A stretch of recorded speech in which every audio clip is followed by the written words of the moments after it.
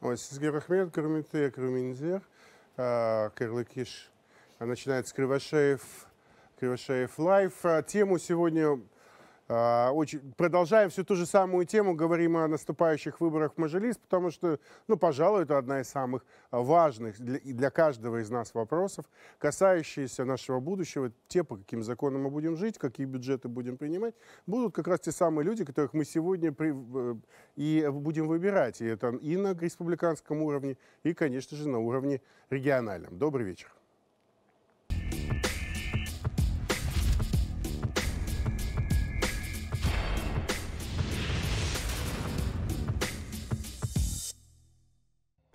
Центральная избирательная комиссия Казахстана допустила к выборам в Мажилис 7 политических партий. От партии «Аманат» допущены 119 кандидатов, 90 из них по партийным спискам, 29 по одномандатным округам. 78 потенциальных депутатов от партии «Акжол» в соотношении 54 на 24. От Народной партии Казахстана 67 человек, 52 и 15. Почти вдвое меньше у партии «Аул» всего 34 кандидата, из которых 25 по партийным спискам, остальные – самовыдвиженцы, то есть те самые одномандатники. Наименьшее число кандидатов у партии «Республика» всего 29, у общенациональной социал-демократической партии 25 и у казахстанской партии «Зеленых Байтах» 22. Напомню, агитационная кампания начнется 18 февраля в 18.00 после завершения регистрации и продлится до 18 марта.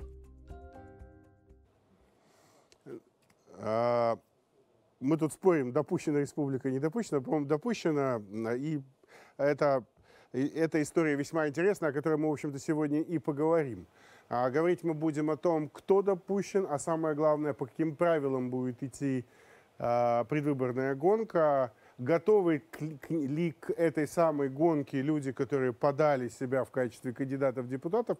И неважно, будет этот вопрос об региональных, я имею в виду маслихатах, или же про республиканские выборы. Это дорого, мы не устаем это повторять. И вот а насколько это дорого? Давайте попробуем сегодня хотя бы прикинуть, посчитать, сколько это будет стоить для партии, сколько это будет стоить для кандидатов, просто на мандатников, неважно, республиканский или э, маслихат. Ну и в целом попробуем разобраться, готовы ли по-настоящему те люди, которые вдруг посчитали, э, что они политики, к тому, что им предстоит весьма тяжелая гонка, в первую очередь интеллектуальная, во вторую очередь это гонка мнений, а мнения, как известно, могут расходиться до, а, э, до, даже до силового сценария. Итак, добрый вечер.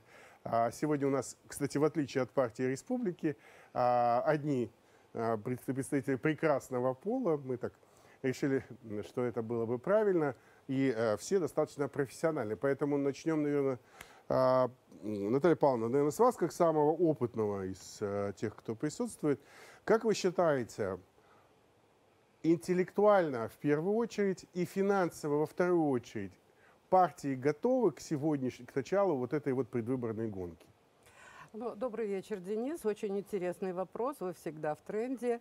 Я хотела сказать две очень важные вещи, а, что э, не всем будет партия комфортно и удобно в плане интеллектуального и финансового обеспечения, а, поскольку мы уже знаем, что те партии, которые на выборах набирали свыше 5%, они не оплачивают избирательный взнос, который действительно по сегодняшним меркам достаточно высок. 1 миллион 50 тысяч за... По одномандатникам. По одномандатникам. А по партиям? А, теперь, э, что касается значит, а, новых политических партий, которые вышли на арену, то а, в плане интеллектуального развития и э, таких трендов, они ну, достаточно э, интересны. Если мы говорим, что экономическая, э, э, экологическая риторика сегодня присутствует, то э, республиканцы, они себе позиционируют как партия достаточно продвинутых блогеров. Поэтому в, интеллект, в интеллектуальном, да, да, в интеллектуальном развитии можно, конечно, сегодня сказать, что, безусловно, те партии, которые уже много лет на политическом поле, они выбирают свои креативные технологии, продемонстрировали некоторые из них на съезде, э, то, естественно, мы понимаем, что э, для партии «Аманат», «Акжол», аул, народные партии, которые всегда присутствовали угу. а, в парламенте. А, и для них и сложно, и в то же время уже вполне узнаваемые лица. Мгм. И в том числе и финансы. Ох уж эти плачущие лица нам.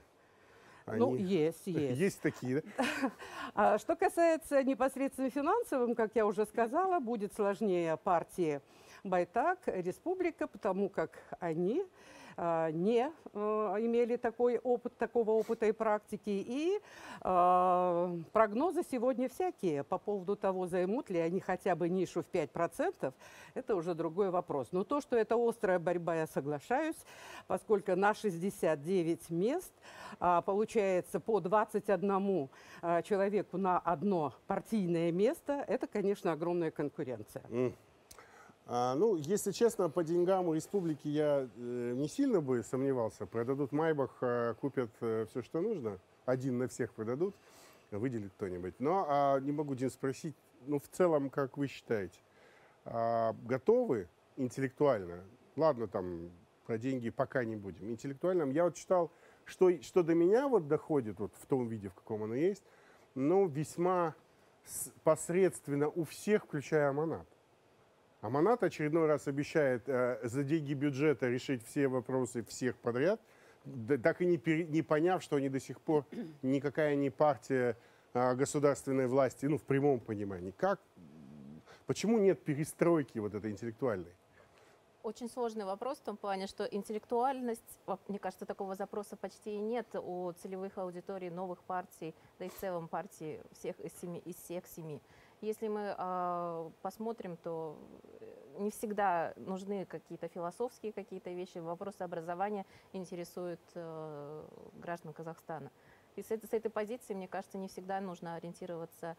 Хотелось бы, конечно, на интеллектуальные запросы этих лидеров и программных э, и программ партии, но это не то, не тот Я под интеллектом я в данном случае имею в виду какая, какие-то новеллы.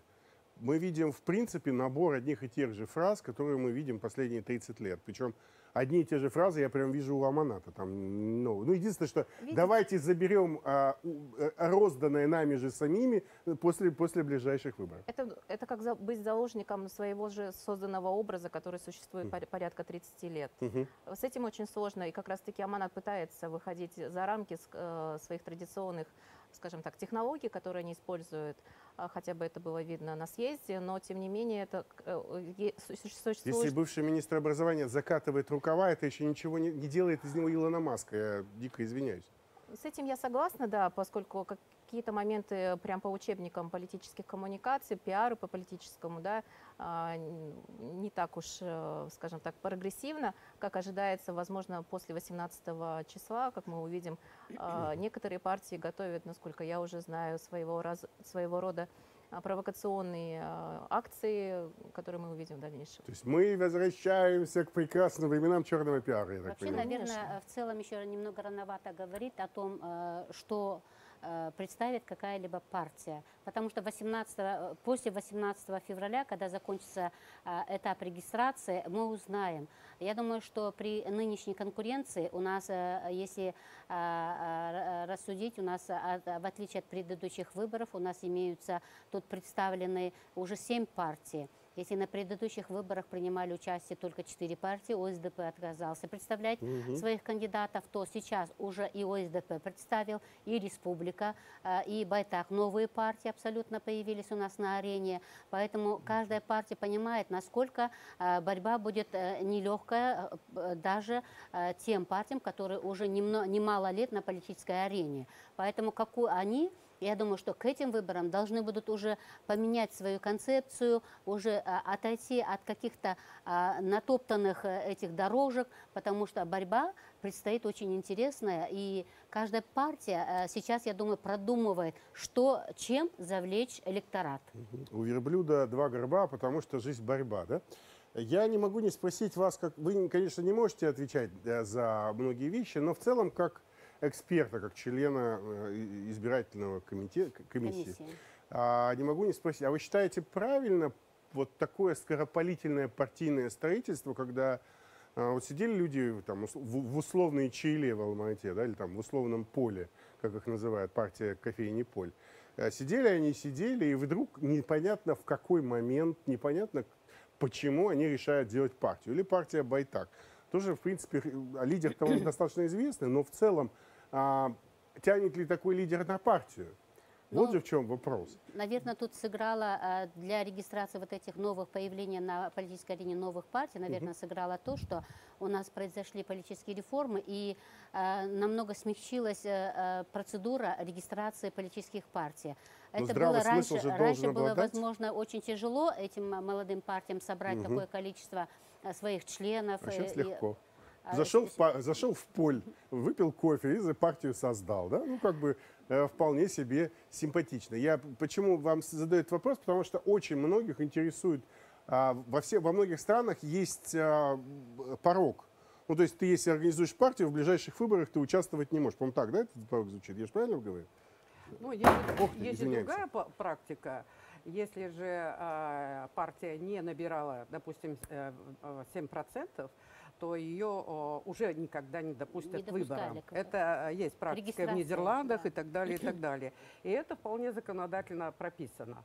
А вот я здесь хотела коллегу добавить, и все-таки, все-таки сегодня опросы э, журналистов и социологические опросы, э, будем так говорить, на улице, задавался вопрос, а, кого вы видите в качестве а, мажилисмена.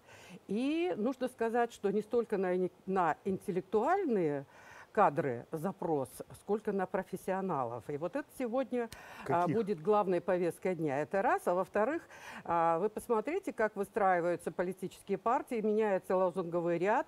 И, конечно, вы сегодня очень правильно сказали, что черный пиар, он сегодня заработает. И он не столько заработает среди партийцев, или Мгм. же среди партий, сколько они на одномандатников и самовыдвиженцев. Да, хотел поговорить об одномандатниках. У нас длинный разговор по этому поводу, во всяком случае, в рамках программы, которая есть. А, наверное, сначала с вами. А, это дорого. Безусловно, выдвигаться на одномандатный округ – это дорого. Это объясняет, кстати, и фонд избирательный, который оценивается в 75 миллионов, по-моему, да, тенге? Максимальный избирательный фонд, который может собрать депутат. да.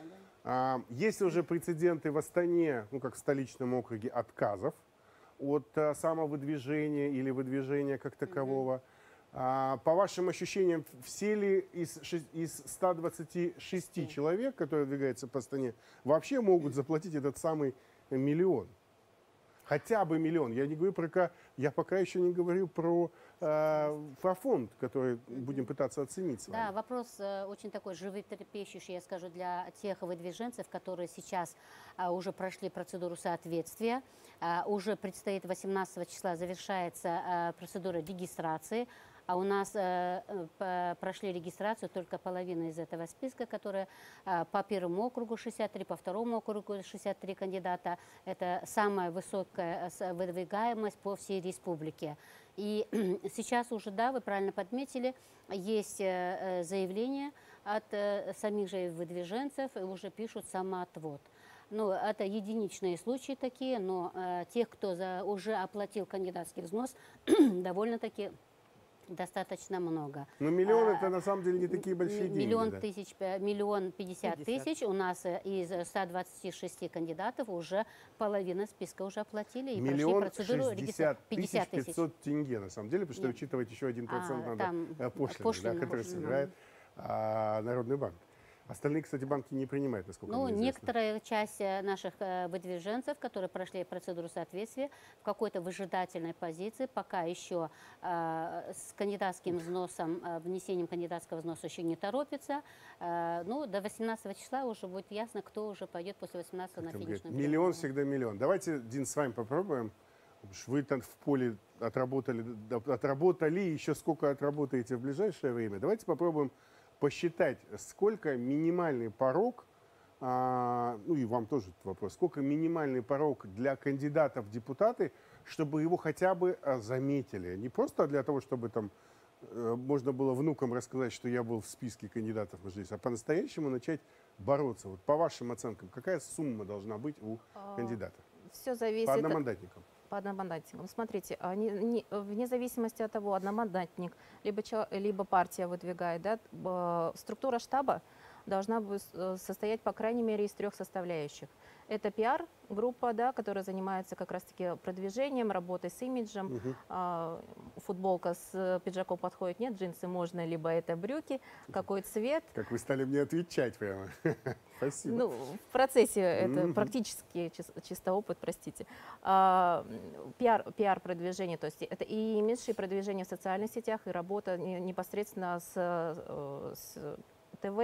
С- СММщики. СММщики, да. А, Очень важен контент, очень важно здесь, э, какого рода специалисты будут работать. Мгм. Второй пункт – это э, работа как раз-таки на полях, такие, скажем так, координаторы и непосредственно агита- агитационная агит-команда, которая должна быть. Мгм. И последний, вот это вообще тренд последнего времени, да, это пункт работы с политехнологами, с политологами, социологами, э, аналитиками своего рода. Вот этот. Мгм. И нужно сказать, что первый, все три, наверное, все три э, Они важны. группы, они очень важны и они очень дорого стоят. Есть, к- есть компании, которые предлагают изначально, ком- скажем так, компанию под ключ, э, ве- весь процесс. Я бы не доверял таким компаниям. Да, это очень э, рискованно в том плане, что зачастую приходят э, пиарщики, просто пиарщики из маркетинга, либо с телевидения, но не, Не молоко имеющие... продаем, да, как говорится? Да, просто я как раз-таки проводила анализ пиар, пиар-организации на рынке. А, Процентов 90 это как раз маркетинговые организации.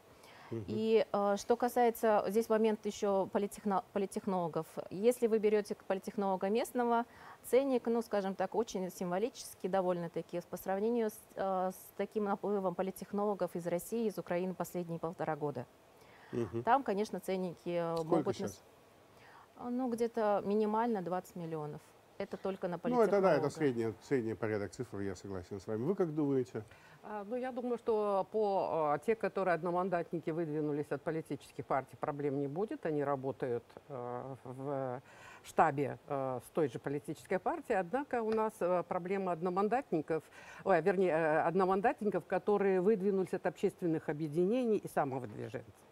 А Если говорить о пред- а, предполагаемых а, процентах, чтобы можно о себе было заявить, ну давайте вспомним президентские выборы, 2%, а, и эти дамы стали известными. И, как ни странно, это, наверное, нормально, одна из них уже возглавляет список АОЛ. Поэтому у многих разные интересы. А, И довольно-таки бывают и меркантильные интересы. И коллега, наверное, тоже это а, подтвердит. Но, с другой стороны, политические амбиции, особенно у молодежи, попробовать, испытать и так далее. Я вот вчера была а, приятно удивлена, что наш магистрант, который э, защищался по политтехнологиям, он как раз и стал кандидатом в а, А маслихаты, вообще, да, да. маслихата- маслихаты а, города Астаны. То есть Мгм. вот этот уже опыт, который наработал, и я хочу сказать, что здесь, конечно, коллеги очень правы в том плане, что а, этому, к сожалению, не обучают. И мы только от выборов к выборам, к, к электоральных кампаниях самых а, таких эксклюзивных мы переходим, но а, дефицит политтехнологов и подготовленность, электор- электоральная культура самих выдвиженцев сегодня оставляет желать лучшего. Ну, начнем с того, что последние 25 лет мы вообще не участвовали в выборах. Да. И политтехнологи у нас работали только, а, ну, в случаях их, получается всего 5. А у нас по списку сколько человек по одномандатным? 600, 609. 609. Даже если мы скажем, что 300 отвалилось, 300 осталось, то должно быть как минимум 300 специалистов. Ну, хотя бы 150, которые бы вели, каждый, Я- вели бы Открою тайну, некоторые политтехнологи ведут до 10 компаний параллельно.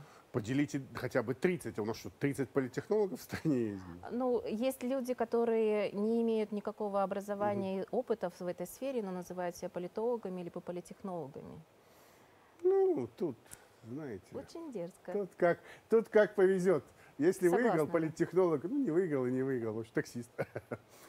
Да. Просто есть нюансы. Мгм. Есть нюансы учета, э, скажем так, менталитета местного. И все зависит от региона, к примеру. Мгм. Если работать по республике, это од- один, скажем так, набор а, методик, методов работы с э, населением. Да? Если Мгм. мы посмотрим на какой-то определенный регион, будь то там какая-то область, да, Мгм. либо город, то мы увидим совсем другую, может быть, картину, отличную от э, Ну да, толкать партию это не то же самое, что толкать одномандатника. То есть партия это все-таки монолитная история, более, более аморфная, чем конкретный человек, который а, выходит один на И один. да, и там а, с- головных болей особо не возникнет. А вот у одномандатники, и даже более того, одномандатники же сейчас разделятся. Те, которые выдвинуты политическими партиями, и те, которые общественными объединениями и самовыдвиженцами. Мы сегодня говорим о проблеме именно этой категории, потому как они идут как бы в разведку сами. И я хочу сказать еще очень важную деталь, что всего пять общественных объединений а, выдвинули своих кандидатов, и они вправе а, поддерживать самовыдвиженцев. Ну, не более 75 миллионов в любом случае. Да, но с другой стороны, а, почему у нас а, такое малое количество а, а, общественных объединений? Потому что а, в изменении законодательстве прописано, что участвовать в выборах может то общественное объединение, котором- в кото- у уставе. которого в уставе прописаны Прописано выборные амбиции, будем так говорить. А таких у нас оказалось Всего пять. Всего пять. Ну или шесть, мы не знаем точно. А, и все-таки я хотел бы, Дина, если вы позволите, э, досчитать с вами. 20 миллионов на политолога и На поехали. политтехнолога. На, политехно- на, на группу политтехнологов, грубо Да. говоря, 20 миллионов. Дальше Можно я СММщики. объясню немного разницу между политологом, политконсультантом А, и Мы- политтехнологом? вот да. туда, да. Тогда вот прям в камеру, а мне мы тут все в курсе. Политехно- э, политолог, да, начнем с базового. Политолог – это человек, у которого есть образование в этой сфере. Это вот Наталья Павловна как раз-таки готовил, готовит, да, готовила политологов. Э, Это, то есть обязательно должно быть политологическое образование. Что касается политконсультантов, э, политконсультанты э, рекомендуют изменить имидж либо программу, исходя из благоприятных, скажем так, благоприятного развития обстоятельств для как раз-таки для человека и для в целом для, ну, наверное, для страны или для того, того или иного региона. Что касается политтехнологов, политтехнологи обычно продают те вещи, которые не нравятся населению. То есть э, их задача вот есть э, какой-то результат, есть какая-то цель, и нужно достичь ее. Наско- э, среди- Хвост, который виляет собакой. да? А, И не, ф- не факт, что там нейронные сети будут э, и мышцы будут существовать, но нужно сделать, чтобы э, хвост это Как там, двигался. Вуду тоже дергается, да? Да, да, да. Примерно так. Ну хорошо, Но надо все-таки еще про учесть, деньги. что а, законодательно предусмотрено для каждого кандидата, также для политических партий, а, а, иметь доверенных лиц. Это большая армия. Это допускается на один участок не менее трех э, доверенных лиц, а одновременно будет находиться только один. Помимо этого, они э, будут себе набирать штаб, это тоже финансирование, а штаб должен быть очень серьезный при такой конкуренции. И надо 75 там и не продумывать, и продумывать надо, э, э, кого брать в штаб. Именно э, действенных людей, которые смогут вытащить эту кандидатуру. Оправдают ли они? Ох, Вопрос. Нет людей на рынке, это я точно знаю. Ну, Сейчас пылесосят и всех. Сейчас всех мало. пылесосят. И Абсолютно. всего Времени месяц. очень да. Да, мало. некоторые могут воспользоваться даже административным ресурсом, абсолютно Почему некоторые? Я да, думаю, огромное количество это людей абсолютно. ходит по рынку и говорит, что я все решил наверху, у меня все хорошо. Нет, нет, я имею Я в виду Вообще времени как раз таки было достаточно, потому что о том, что эти выборы будут, еще было в сентябре объявлено президентом. И поэтому о том, что эти выборы состоятся и будут, э, э, те же, э, кто собирался идти на эту политическую арену, они знали заранее. Поэтому времени э, собрать команду, продумать вот этот весь э, свой, свое... Когда у нас в стране так делалось, я вас умоляю, у нас наверху так не делается, а Нет, вы говорите, да- что давайте люди... призна- признаем, но с, с надо- лета уже в регионах готовились к контамандатным, так Да. или иначе. Ну, мы не говорим Нет, то э, вопрос э, Я не буду комментировать этот вопрос. Как они готовились, мы знаем. Сидели, ходили по кабинетам, пытались договориться мастеры. Ну, тут же так не Ну, сработает. это этот раз. коммуникации, GR назовем их так. Лоббизмом мы это назовем. Так все-таки про закона. деньги. Я хочу понять. Вот у меня по 75 миллионов ограничения. Вы говорите 20 на политтехнологов. На SMM сколько нужно потратить? Ну, в смысле, сколько сейчас команда SMM щиков будет стоить на выборах? Очень А большой э, разброс, разброс. Очень Ну, большой. давайте да. от минимума до максимума. Ну, я не знаю, ну, может быть, можно и в миллион уложиться. Мгм. Это для, если мы работаем с Ну, начинающими. Если этого да. мышь продаете. А если реально что-то продать, Ну, примерно так же, как и политтехнолог. около будет 20 стоить, миллионов. Это без учета самой э, стоимости самого э, пос- посева, да? Да, Там еще 20 миллионов на посев уйдет. Посев это рекламное распространение. Да, абсолютно. Работа с блогерами. Да, с этого года, к примеру, был, были приняты поправки, согласно которым блогеры должны были... Вот сегодня, да, кажется, Да. последний день, тогда, когда они должны были разместить на своих аккаунтах, либо обратиться в ЦИК, потому что вот я такой-то, я блогер, я готов продавать, э, э, продвигать, скажем так, э, давать Ну и так. влияние. Ваша оценка? А, Но я по все-таки СМЛ. склонна к тому, что это дорогостоящее удовольствие, и здесь коллегу я полностью поддержу, что а, создание штабов и, собственно говоря, доверенных лиц, вот эта разветвленная сеть, она, конечно, очень привлекательна. Я вот вчера, не буду называть фамилию одного кандидата, она а, выступила Она уже как зарегистри- зарегистрировалась, и она обращается в социальных сетях, кто придет в мой штаб и предложит мне креативные технологии. То есть мы уже дошли до такой степени. Почему? Потому что для того, чтобы выиграть. А, поэтому, возвращаясь к тому, что 99-й, кажется, и 2004 год, когда а, у нас а, были э, и одномандатники, а, и самовыдвиженцы, очень крепко был дефицит в политтехнологах, и они, как правило, менеджеры закупались а, достаточно в интересных компаниях, пиар-компаниях за рубежом. Но сейчас и денег не столько, и все-таки у нас а, политическая культура, профессионалы появились, но это все будет дорог- дорогое удовольствие. Ну и третья часть марлезонского балета. Что у нас там третья была? А, СММщики, Ну, э, политтехнологи и агитаторы. Сколько здесь? Здесь все тоже очень... От количества. От количества. Видите, волонтеров нельзя использовать, да? Согласно А, закону нельзя, о да? волонтерской за деятельности? Волонтерская деятельность, это закон о волонтерской деятельности Запрещает. запрещает. волонтеры не не могут быть э, поддерживать ту или иную, участвовать в акциях при поддержке. А зарегистрированные волонтеры? То есть бесплатно работать могут, а Нет, согласно закону о волонтерской деятельности, любой волонтер должен иметь с собой договор э, с той или иной организацией, э, чьи интересы он все, продвигает. понял. Итого? Итого либо ноль, Мгм, мгм. а либо все зависит от того, сколько человек вы хотите. Итак, реально, вот если кандидат идет, ну, предположим, хочет победить, э, минимальный вход, я думаю, это минимальный вход, вот, вот даже с вами общаюсь, где-то 40 миллионов, правильно? Ну, по-настоящему идет, не выдумывает, не выковыривает из носа, а реально идет за- заниматься большой политикой. Правильно? Все еще Да, зависит где-то от в этих рамках. Все еще зависит от того, э, какие виды технологий будут использовать. Традиционный метод, да, ходить от дома к дому а, и работать непосредственно с ядерным а, электоратом, то есть это женщины около 40 плюс и пенсионеры, то есть, ну, по крайней мере, 55 плюс. Мгм, То есть мгм. люди, которые смотрят ТВ, это одна, одна категория. А, либо это можно вообще ничего не делать, но иметь доступ к социальным сетям и каким-то образом через э, социальные сети, каким-то черным пиаром, Пытаться завлечь людей на выборы. да? абсолютно, да. Итак, мы, мы с вами... э, так, и заключительный вопрос. Я почему так долго вас пытал? Как вы считаете, человек, у которого нет денег, который не может привлечь деньги, который выходит в социальные сети и говорит, помогите мне собрать на регистрационный взнос, Да. он вообще Есть политик ли? Или все-таки мы это, это просто зона эксперимента, и уже через следующие пять лет мы увидим тотальное сокращение а, потенциальных игроков, которые будут уже понимать, что выборы это дело профессиональное. Как вы думаете?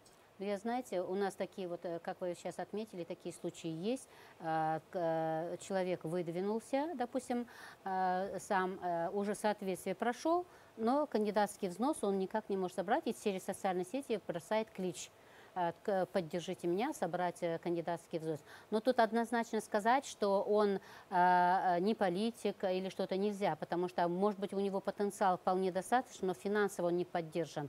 Тут тоже так однозначно, что он, если безденежный, он не политик, тоже не скажешь. Но э, Фандрайзинг это политический инструмент. Если Это ты им не владеешь, какой ты политик? Как ты будешь дальше продвигаться? А, Но с другой стороны, да, возникает, ему и пишут, э, допустим, а, кто сидит в его чате, ему пишет, если ты безденежный, зачем ты такой нам маджлисмен нужен, А, вот, или там э, депутат такой нужен. Был у нас А, один такой уже. В Сенат перешел. Да? Ну вот, ваше мнение. Э, я еще раз повторяю, сложно будет одномандатникам, не партийцам. А, а, Сегодня а, я еще раз повторяю о том, что разная категория и разные формы и методы выдвижения, и самое главное, цели у каждого разные. А, Может быть, кому-то будет достаточно того, что его персона пока засветилась. Но а, задача-то всей этой реформы заключалась в чем? Не только политические партии вовлечь в этот процесс, а институты гражданского общества, чтобы они именно. попробовали себя на этом политическом поле, а, который имеет ярко выраженную социальную окраску. И вот тогда, а, конечно, возможно, будет и у нас изменится и алгоритм выдвижения и участия в выборах, но это уже в последующих. Дина, ваша э, завершающая фактически, минута осталась. Все зависит от а, изначального опыта и целей э, кон- конкретного кандидата. Даже тот выбор, э, тот вопрос о краудфандинговый, да, фандрайзинговый вопрос, это может быть э, в копилку м, пиара, новые сторонники э, и так далее. Это дополнительная реклама. Все как развернуть, да? Да, абсолютно. И, и суммы могут выйти далеко за 1 миллион. Давайте, давайте признаемся. Все Мгм. зависит от того, какие цели действительно и какими методами будете, э, будете в этом, в Ну, в этом деле целом мы готовы? использоваться. По ощущениям? Нет, Не готовы. нет. Мы Ну, где-то на Знаете, один думаем, процент. что ошибки все равно будут, и через ошиб- эти ошибки нам придется пройти. Потому что эти выборы, таких выборов э, э, практически, можно сказать, впервые, и э, народ сейчас сам взбудоражен и думает, как это будет и что это- из этого выйдет. Эх, это, это волнительное чувство и ощущение грядущих перемен, да, имеется в виду для каждого из нас, особенно для тех, а, кто пытается прорваться в большую политику. Действительно, шанс, шанс, который дал нам по большому счету январь, э, шанс для того, чтобы изменить страну, и самое главное, научиться самому важному, чего должен научиться кандидат. А самое важное, чему он учится, это отвечать за свои обещания, а самое главное, за свои слова, которые произносятся не только в момент а, агитационной кампании, но и, к сожалению, до них, потому что копать будут на всех сильно и долго. Так что впереди нас ждут интересные времена. А, Многое мы узнаем о кандидатах совершенно и о людях совершенно новые, совершенно неожиданное. Здесь и в студии с нашими коллегами и будем это все обсуждать. Кривошеев Лайв. А, Доброго вам вечера. Оставайтесь на Жебек Жилы.